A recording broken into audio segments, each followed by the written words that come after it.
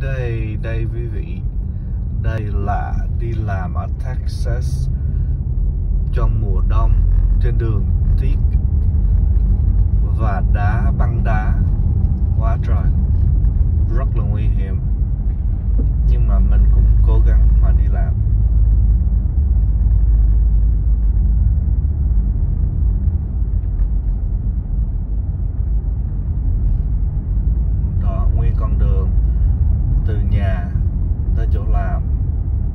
45 phút.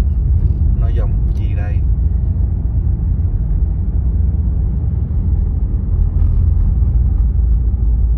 Ok, một cái video nhỏ chia sẻ cho các bạn thấy cuộc sống hàng ngày của mình thôi nhé.